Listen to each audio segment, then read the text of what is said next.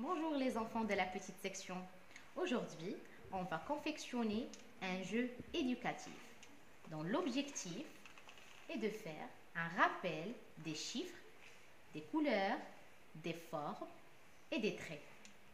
Pour cela, on va découper plusieurs formes de couleurs différentes et on va les numéroter de 1 jusqu'à 8. Et sur chaque forme, on fait le choix de tracer des traits au nombre du chiffre indiqué sur chaque forme partant du point, trait vertical, horizontal, oblique et autres.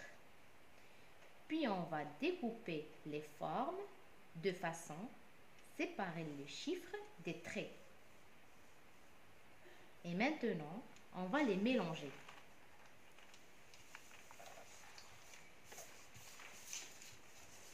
Par exemple, je vais prendre la première partie du carré du chiffre 4. C'est le chiffre 4.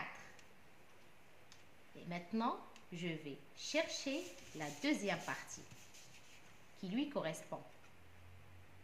On va compter le nombre de traits. 1. Ce n'est pas le chiffre 4. On va chercher encore une fois.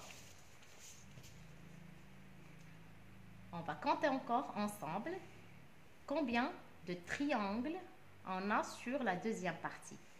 1, 2, 3, 4.